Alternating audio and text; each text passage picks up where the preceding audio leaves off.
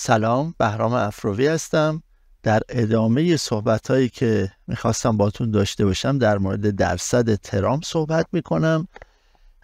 در ویدیوی قبلی در مورد اندازه ترام صحبت کردیم. اینجا یک موضوع دیگه ای که در همون رابطه هست به نام درصد ترام رو صحبت می‌کنیم. ببینید ما وقتی که در صفحه کامپیوتر شروع می‌کنیم یک کادری رو رنگ بهش میدیم. حالا مثلا خاکستری و به همین ترتیب خاکستری های تیره تر می‌خوایم ببینیم چه اتفاقی میفته در زمان زمانی که زینک تهیه میشه یا پلیت تهیه میشه و چاپ انجام میشه.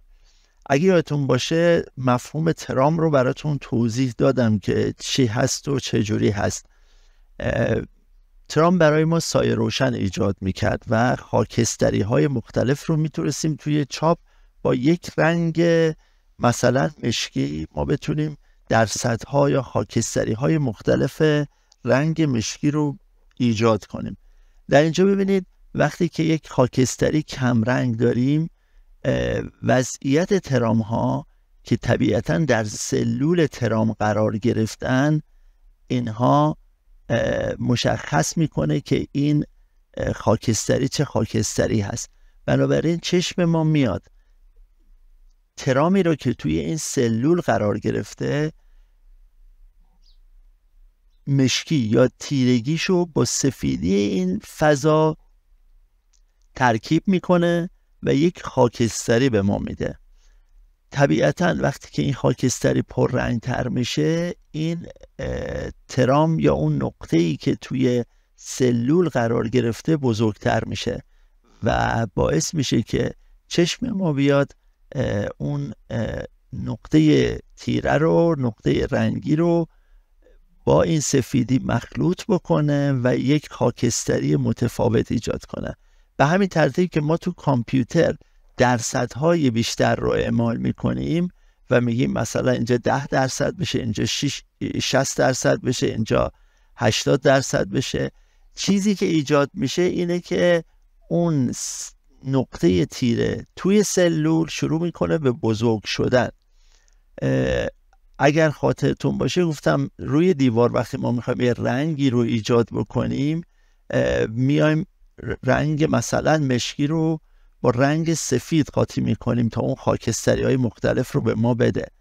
اینجا اون رنگ سفیدی که با مشکی قاطی میشه توی زمان چاپ در واقع چشم ما ایجاد می‌کنه و مخلوط شدنش رو چشم ما ایجاد می‌کنه و سفیدیش سفیدی کاغذ یا رنگ زمینه خود مدیایی که چاپ می‌کنیم. در اینجا وقتی درصدها زیادتر میشه از 50 درصد که همونطور که یادتون باشه گفتم وقتی خاکستری 50 درصد می‌دید تقریبا این حالت شطرنجی به خودش می‌گیره.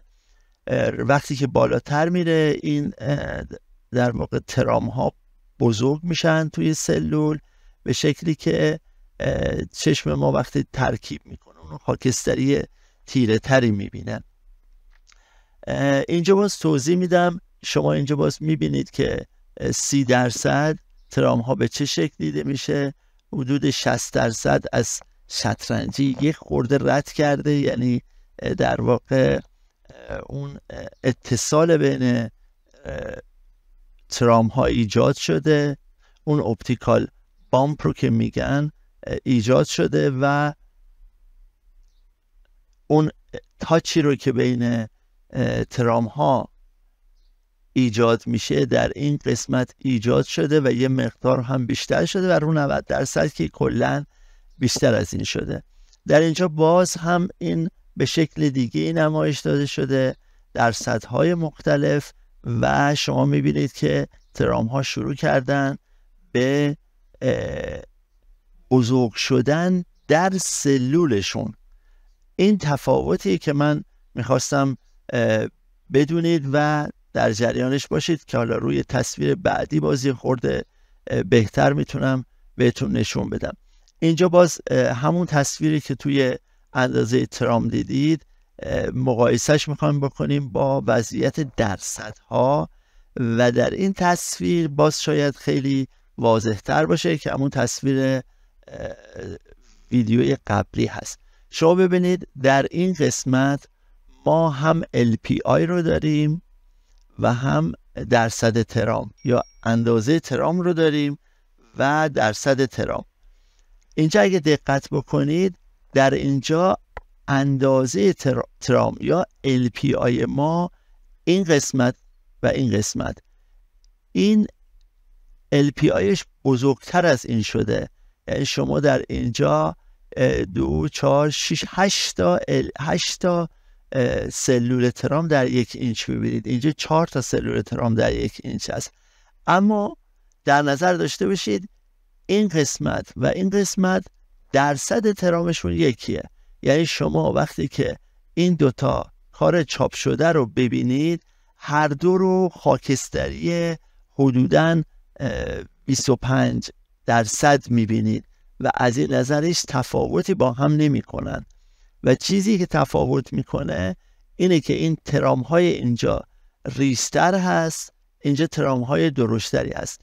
پس این نکته رو خیلی خوب بهش دقت داشته باشید.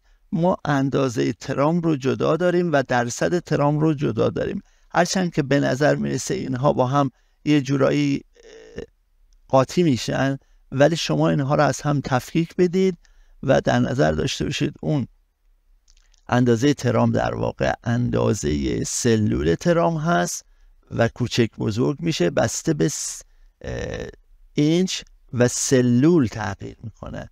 درصد ترام سیاهی نسبت به سفیدی سلول تغییر می‌کنه و این تفاوت قضیه است. تا ویدیو بعد خداحافظ.